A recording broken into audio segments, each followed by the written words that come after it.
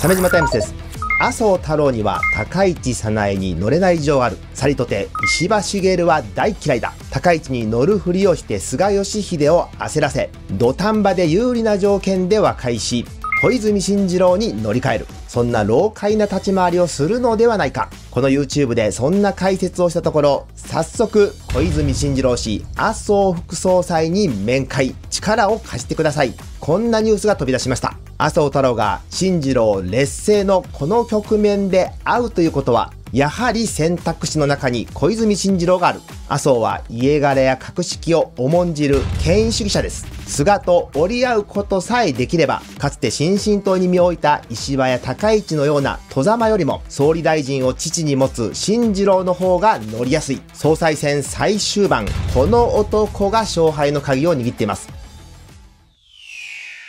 読売新聞の最終情勢調査によると、第1回投票1位は石破茂126票、2位は高市早苗125票、3位は小泉進次郎114票。これが最新の情勢予測です。次の総理大臣の座はこの3人に絞られました。内訳は石破が党員投票98票、国会議員票は28票、高市は党員投票94票、国会議員票31票、そして小泉進次郎が党員投票60票、国会議員票54票。石破と高市は党員投票で優勢だけれども、国会議員票で伸び悩んでいます。一方、小泉進次郎は、国会議員票で優勢だけれども、党員投票で伸び悩んでいる。公開言えることは、小泉進次郎が国会議員中心の決選投票に勝ち残れば、総理総裁になる可能性が極めて高い。けれども、今のままでは新次郎は第1回投票で3位に沈み、決選投票に勝ち残れない。そうなると決選投票は石破対高市国会議員に不人気同士の大接戦になる。こんな展開が見えてきます。麻生太郎は自らが側面支援した上川陽子、河野太郎、小林隆之、この3人が決選投票に勝ち残れません。高市支持の右派は、こうなると決選投票では麻生は高市さなに乗ってくる。キングメーカーの座を争う菅義偉が担ぐ新次郎には乗れない。サリトティ石破茂は大嫌いだ。麻生の選択肢は高市早苗しかないじゃないか。決選投票で高市早苗は麻生の支持を得て大逆転できる。そう期待しています。確かに麻生は石破が大嫌い。自らの麻生内閣の時に農水大臣でありながら真っ先に麻生おろしに動いたことを今でも恨んでます。そして菅とのキングメーカー対決に敗れれば政界引退に追い込まれるかもしれない。菅が担ぐ新次郎には乗りにくいのも事実です。けれども麻生には高市早苗にも乗れない事情がある。これはこれまで解説してきましたが、一つはアメリカが高市早苗を警戒している。とりわけ靖国参拝。これをやられてしまうと日米韓の連携が揺らいでしまう。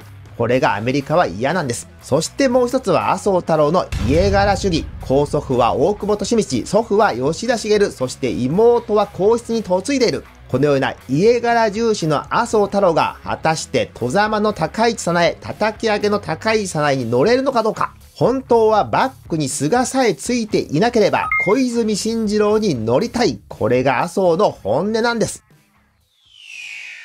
自民党総裁選、このままでは新次郎が第1回投票で3位に沈み、決選投票に勝ち残れない可能性が高い。けれども、麻生太郎が第1回投票から小泉進次郎に乗れば、情勢はガラリと変わります。小泉進次郎党員投票では苦戦するけれども、国会議員票で石破と高市を大きく上回り、決選投票に進むことができる。決選投票にさえ進めば、相手が石破であろうと高市であろうと、進次郎の優勢は揺るぎません。何としても第1回投票から麻生太郎に乗ってもらう必要がある。麻生が河野太郎や上川陽子小林隆之に回した手勢を第1回投票から密かに小泉進次郎に振り向けてもらう。河野太郎の推薦人20人のうち18人は麻生派です。上川陽子は20人のうち9人が麻生派。この足して27人を小泉進次郎に振り向けるだけで、小泉進次郎は決選投票に進出できるんです。もし麻生がそこに踏み切れば、蓋を開けてみると第1回投票、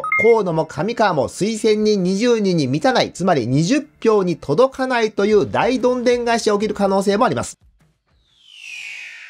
麻生と新次郎の会談は9月24日東京都内で行われました。約30分。新次郎が麻生に力を貸してください。そう頭を下げたと報道されています。これがマスコミに漏れたということは、麻生も新次郎もそして新次郎の後ろに控えている菅義偉も、これはマスコミに報道させた方が良い、そう判断したと見て間違いありません。つまり麻生と新次郎、麻生と菅義偉の急接近を自民党内に知らしめた方が良い、そう判断したんです。もちろん新次郎は麻生に会うにあたり、バックについている菅義偉の了解を取ったことは間違いありません。菅も新次郎ピンチを踏まえ、最後の最後、麻生太郎キングメーカーの座から蹴落とすことよりも、とりあえずここは新次郎が勝たないと話が始まらない。麻生太郎と手を握るしかない。そう最終判断したとみて間違いないでしょう。麻生が高い早苗に乗る決意を固めているのなら、この局面で新次郎と会う必要は全くありません。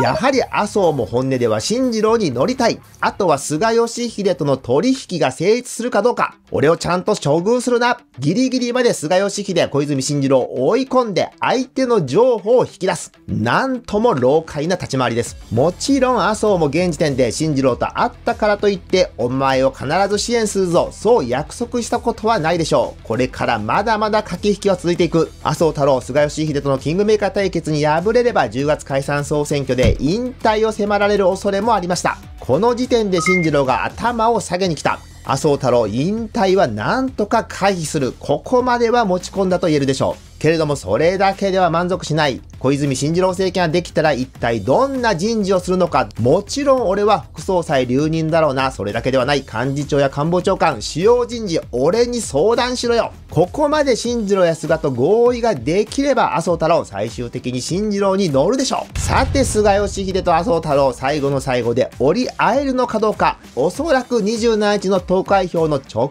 前、麻生と菅の極秘会談が行われると思います。私はずっと権力闘争を取材してきました。そこでつくづく思うのは最後の最後、強い者同士は必ず手を握る。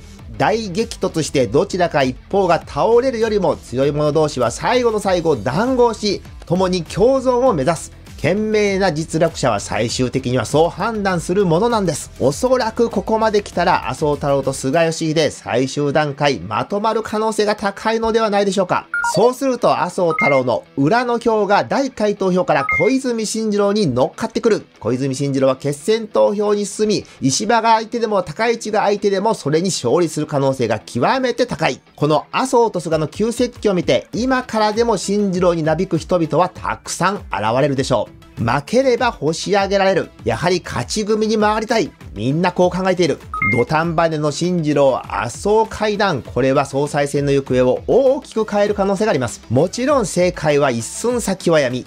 新次郎が仮に決選投票3位に沈んだ場合、それは最終段階の麻生菅会談が決裂したのか、はたまた2人は合意したけれども、自民党のガバナンスが崩壊し、麻生も菅ももはや自民党をコントロールできない、そういう実態を映し出す現象なのか、このどちらかでしょう。27日の投開票日に向けて、自民党内の権力闘争は緊迫度を増していきます。最後の最後、麻生と菅がどう判断するのか、やはり政局は面白い。鮫島タイムス引き続きこの自民党総裁選挙、そしてその後の秋の解散総選挙に向けてマスコミが報じない裏側をどこよりも早く分かりやすくお伝えしていきます。チャンネル登録よろしくお願いします。